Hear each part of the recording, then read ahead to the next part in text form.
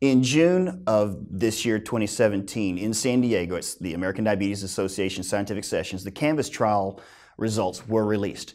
Again, this will be the second SGLT2 inhibitor to release a large cardiovascular outcomes trial. This trial was a little different from EMPA-REG in that this trial had about 35% of patients who were just, quote, at high risk. Maybe they've been over 50, they had diabetes for more than 10 years, whereas 65% had actually had a cardiovascular event. Now, to refresh memory, EMPA-REG had had 100% people had had some sort of cardiovascular event. The question was, when you dilute that sample of people who are not quite as sick, would you get as good a result? Well, there was still a 12% reduction in the primary MACE, that major adverse cardiovascular event. So it met the primary endpoint of its trial. This was driven by a reduction in cardiovascular death, reduction in MI, reduction in stroke, none of which individually were statistically significant, but the overall numbers made it statistically significant. They did not have that same 38% reduction in cardiovascular death that you saw with EMPA-REG, but they did have another 35% reduction in hospitalization for heart failure, and they also had the same decrease in progression to end-stage renal disease, renal replacement therapy, doubling of creatinine, all those measures of worsening renal function over the six and a half years of the trial.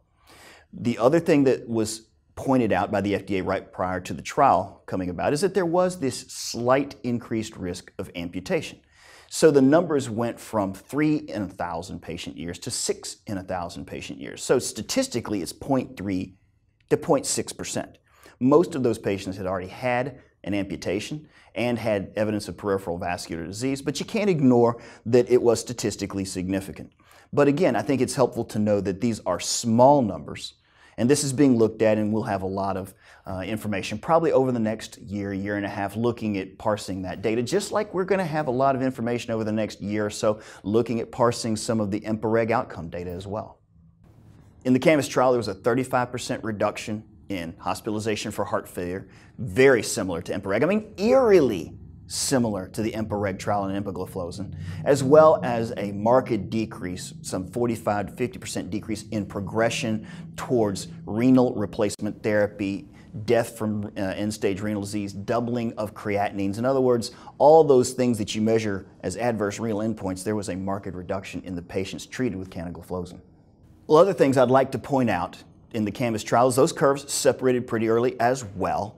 It now seems that we have a second SGLT2 inhibitor that met that three-point MACE, has a reduction in heart failure, has those renal benefits, and now you're starting to think this may be a real class effect. Dapagliflozin has the largest of the clinical trials, but it won't report out until 2019. So we'll see if they meet the same endpoints, but most experts are now thinking this is a real class effect.